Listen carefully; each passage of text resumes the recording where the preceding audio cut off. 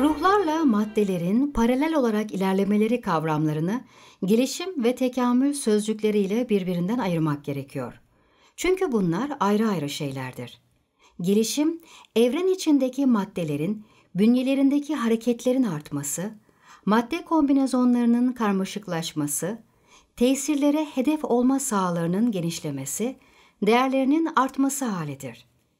Tekamül ise ruhların hizmetlerinde bulunan varlıklardaki gelişimlere paralel durumlarıdır. Bu durum, mahiyetine asla nüfuz edemeyeceğimiz, ruhların sonsuz ihtiyaçlarından evrenimizde giderilmesi icap eden ve dünyamızda tekamül sözcüğü sembolüyle ifade olunan bir kısmıdır. Şu halde tekamülün manası, onun maddeler içindeki ifadesi olan gelişimlerin manasıyla paralel olarak yürür.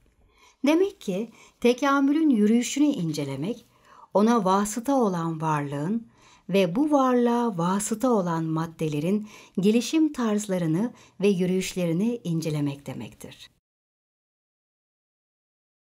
Evrende tekamül tatbikatına ilk başlayacak bir ruhun bu tatbikata ait ilk durumları evrenin amorf hallerine yansıtılır.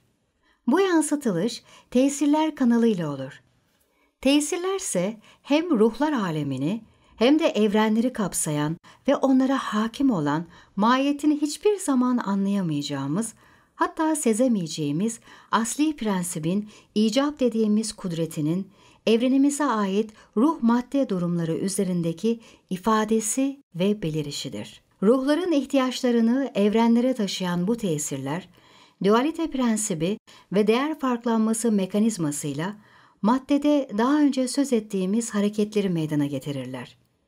İşte evrendeki hareketler, ruhların kıpırdanışlarının ve davranışlarının bu tesirler kanalıyla madde oluşumları halinde beliren sembolik birer ifadesidir.